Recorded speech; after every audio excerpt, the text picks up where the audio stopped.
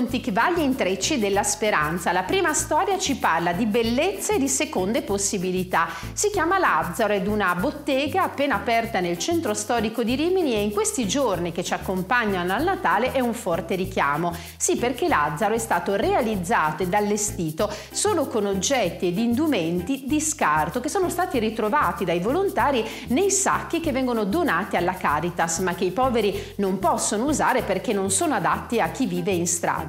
Dalle vendite che Lazzaro realizzerà nasceranno seconde possibilità per tante persone.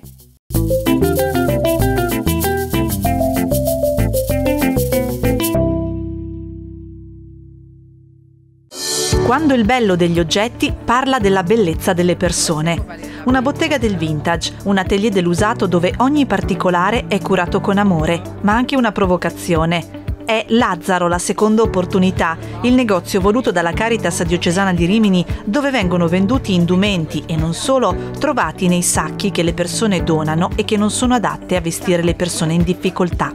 L'immaginario collettivo, la Caritas è qualcosa, è lo scarto. E qui invece si trova di fronte alla boutique degli scarti. Questa boutique così bella, così elegante, così scicosa, ebbene sì, gente mia, sono i vostri scarti, sono le cose che voi non mettete più, che donate alla Caritas, che i poveri naturalmente non mettono, perché i poveri non mettono un vestito da sera, una camicetta di seta, un foulard di seta. E noi inve- cerchiamo di dargli una nuova vita per poter dare un'opportunità con nuovi progetti per le persone che si rivolgono a noi, ma soprattutto per contrastare quella cultura dello scarto, per, per dimostrare che appunto quelle cose che noi gettiamo che potrebbero essere rifiuti in realtà sono cose molto belle e quindi Caritas uguale bello, ma la bellezza delle cose non deve essere assolutamente secondaria alle persone che noi scartiamo. E allora questo negozio vuole essere un inno alla gioia, un inno che contrasta lo scarto e che dice appunto che la bellezza può veramente salvare il mondo. Sì, Papa Francesco no, nella Evangeli Gaudium parla del primo, del secondo e del terzo cerchio. Io penso che qui siamo nella frontiera, siamo nel terzo cerchio, siamo vicino a persone che probabilmente non verrebbero mai in Caritas, sanno della Caritas, ma magari solo per fare qualche offerta o per donarci i vestiti.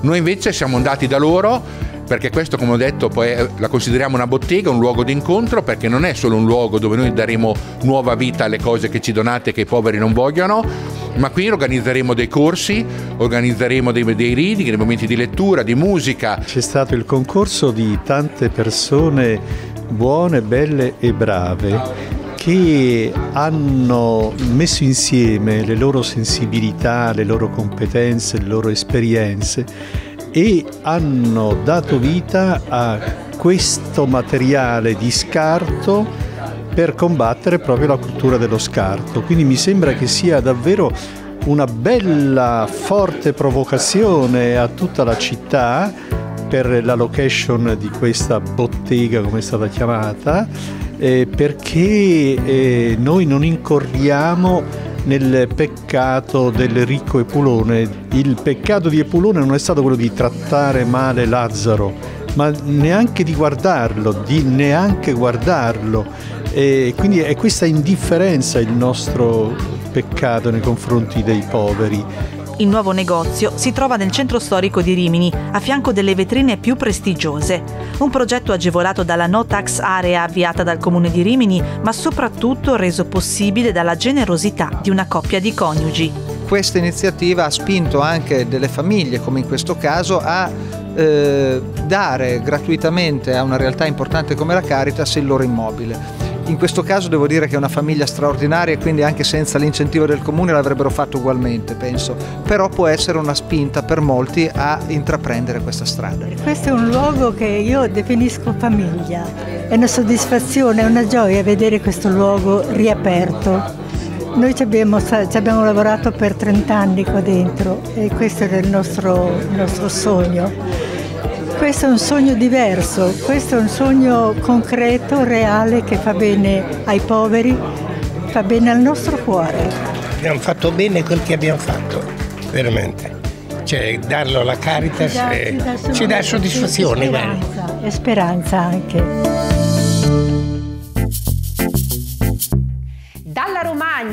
Sicilia per raccontarvi un altro intreccio di speranza, nato grazie al contributo dell'8 per 1000 alla Chiesa Cattolica. Siamo a Patti, in provincia di Messina, dove è stata appena aperta una casa d'accoglienza per i parenti dei degenti ricoverati nell'ospedale locale. Il servizio, che comprende alloggio e prima colazione, è completamente gratuito per gli ospiti.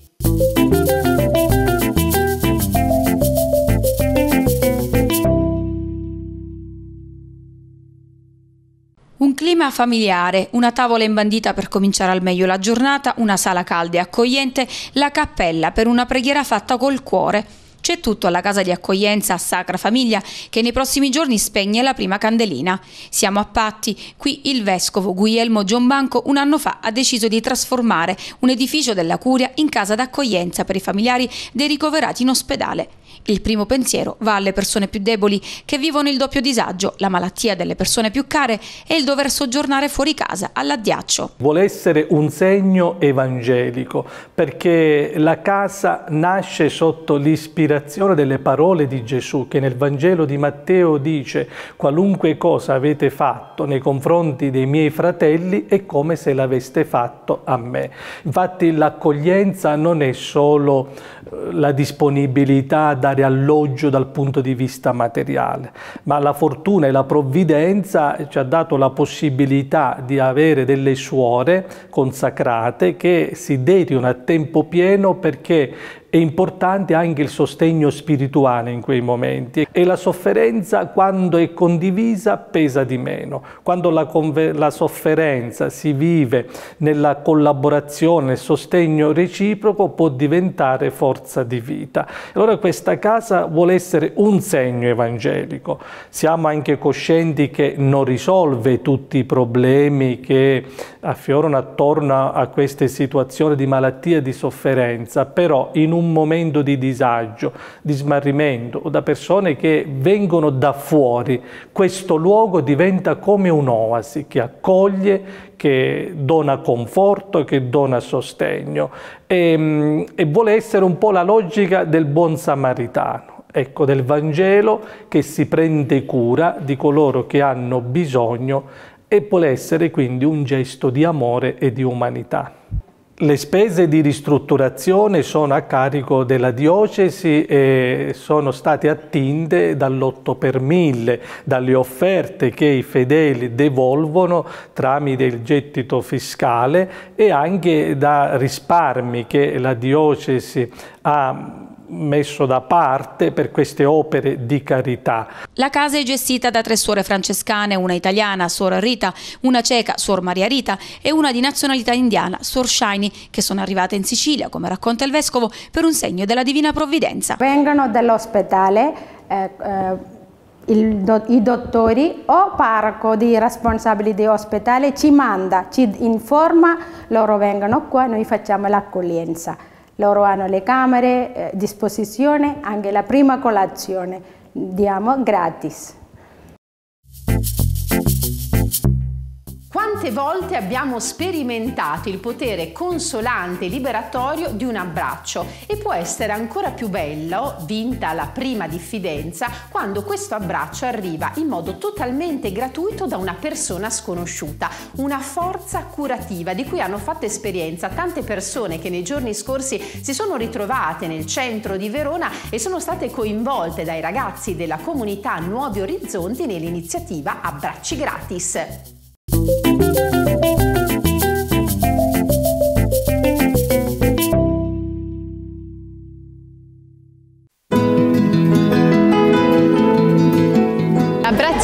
Gratis è un'esperienza che nasce dal desiderio di portare un po' di amore, di portare un abbraccio che sia un abbraccio proprio carico di amore che è l'amore di Gesù. Noi sappiamo che portiamo l'amore di Gesù. C'è un urgente bisogno di, di amare.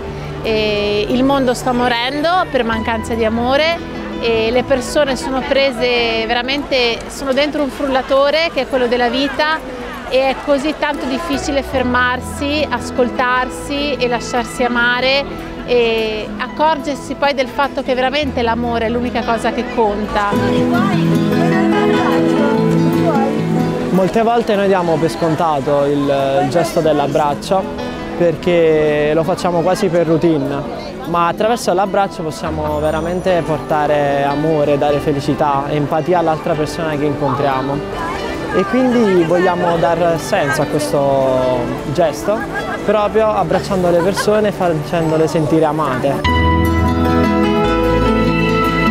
Quando abbracciamo, abbracciamo la storia della persona che abbiamo di fronte a noi e abbracciando la loro storia abbracciamo anche quello che in quel momento gli possa fare adesso veramente male. Sicuramente c'è bisogno di prepararsi perché andare in strada a abbracciare gli altri non è facile e per cui tutte le volte prima di queste attività noi preghiamo. E, e sicuramente la preghiera è, è la formazione e la preparazione più importante perché non siamo noi con le nostre debolezze, le nostre fatiche, le nostre difficoltà che andiamo a abbracciare gli altri, ma noi ci facciamo strumenti di Dio. E per farci strumenti di Dio dobbiamo fare un momento di preghiera in cui proprio gli chiediamo a Gesù di essere con noi in questo momento di, di abbracci e poi sicuramente serve anche una formazione eh, inerente proprio a come si va in strada, come si va a abbracciare, che cosa significa abbracciare l'altro, perché quando io abbraccio un altro non abbraccio solo un corpo, ma abbraccio una persona con una storia e lo faccio con la mia persona e con la mia storia.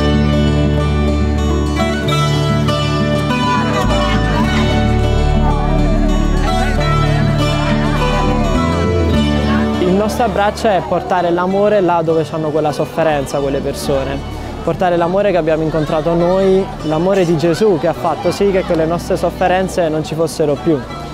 L'amore di Gesù che sperimentiamo che va oltre le nostre sofferenze. Io stessa, la mia vita stessa è cambiata grazie a un abbraccio grazie a delle parole, ma prima delle parole c'è stato un abbraccio con una persona che me l'ha dato gratuitamente e senza chiedere niente in cambio, no? Infatti abbracci gratis perché gratis? Perché è un amore gratuito che vogliamo dare in un mondo dove regna l'usa e getta, regna il ti do se mi dai, questo è un amore che non chiede niente in cambio, se non quello di essere amato.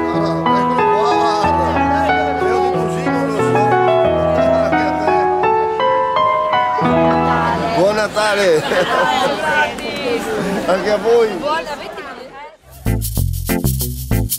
Il nostro approfondimento ci porta in Emilia e la storia è quella di un comune dell'Appennino che è riuscita ad invertire la tendenza del calo demografico che è una vera e propria piaga per tanti borghi montani. A Bobbio, in provincia di Piacenza, negli ultimi due anni sono nati quasi 60 bambini. A permettere questa primavera demografica è stata un'azienda che ha deciso di rimanere sul territorio dando lavoro per l'80% a giovani madri. Dal canto suo la parrocchia e l'intera comunità si sono fatte carico di garantire alcuni servizi fondamentali che prima non c'erano, come quello di un asilo nido.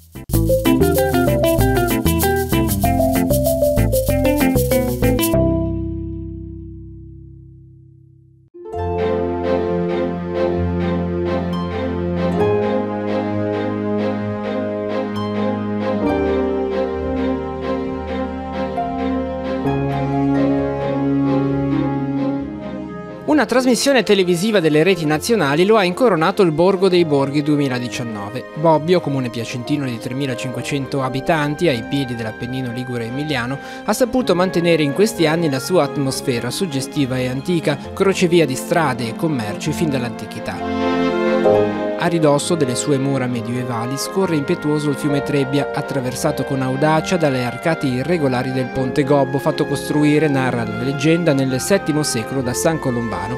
In paese la vita scorre tranquilla, nelle strade del centro si cammina dimenticandosi delle auto, nelle piazzette, agli incroci i bambini possono ancora giocare a pallone o girare tranquilli in bicicletta.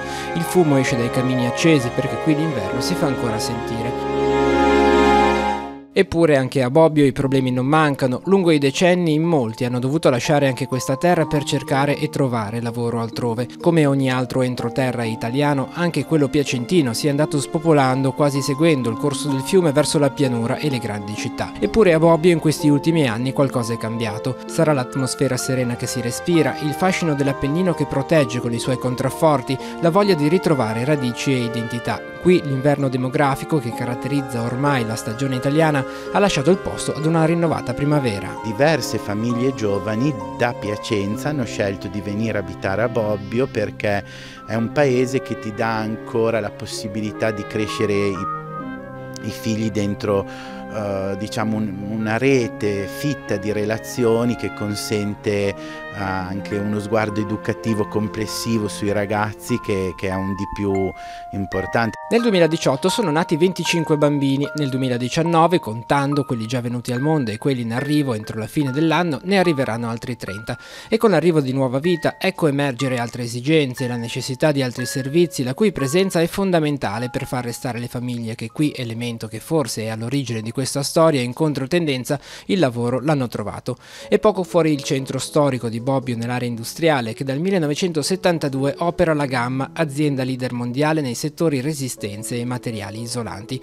Qui lavorano quasi 200 persone, l'80% delle quali è donna, molte delle quali ultimamente sono diventate anche mamme. A loro ha pensato il titolare dell'azienda, il signor Marco Labirio. A oggi siamo 195, la maggior parte sono donne di etnie molto differenti, quindi paesi dell'est, africani, eh, che convivono e lavorano di tutte le età, però soprattutto anche lavoratrici che possono diventare mamme. E quindi per noi diventava un'esigenza fondamentale andare incontro al fatto che potessero avere bisogno di un'assistenza, perché soprattutto gli stranieri non hanno i nonni a cui appoggiarsi. Serviva una struttura come l'asilo nido. Così è nato a Bobbio il Nido dei Piccoli. L'esigenza di un'azienda intenzionata a rimanere sul territorio è stata raccolta però da altri protagonisti di questa storia di speranza, senza i quali non ci sarebbero stati i passi successivi che hanno permesso ad una semplice intuizione di diventare nel giro di poco tempo concreta realtà.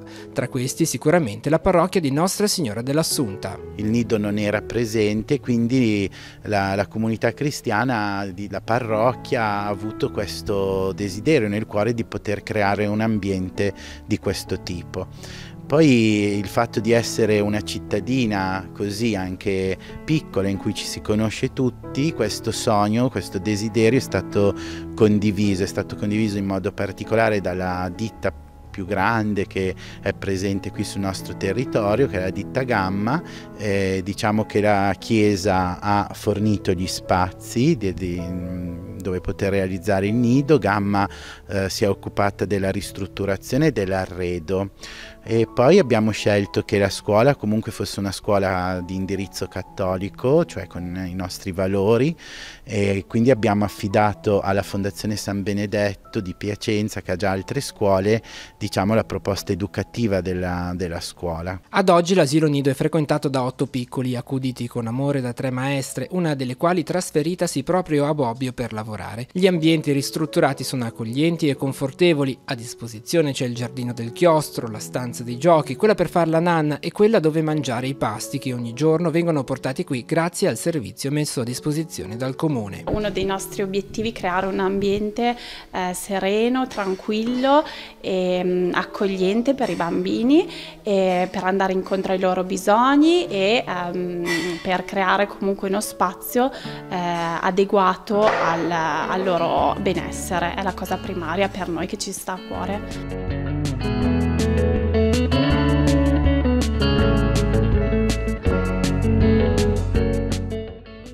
A Bobbio però non ci si sente arrivati. Raggiunta in poco tempo la capienza massima, l'asilo dei piccoli punta a raddoppiare la sua capacità di accoglienza. Il progetto c'è già e sicuramente anche i piccoli fruitori del servizio. L'investimento maggiore è proprio quello di, di non spopolare la valle, cioè l'obiettivo è di evitare che i giovani, le giovani famiglie, i bambini possano rimanere qui ed evitino di allontanarsi, quindi possono fare l'asilo, le scuole elementari, le scuole medie a Bobbio.